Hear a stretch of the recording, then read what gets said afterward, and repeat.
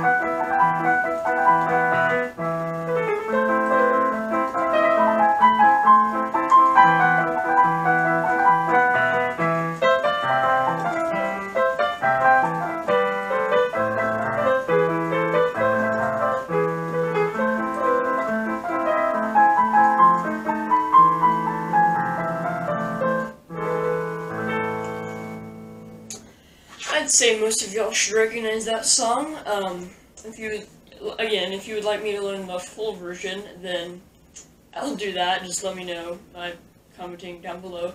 But anyways, this will be my second video, or third video for this week, I don't know.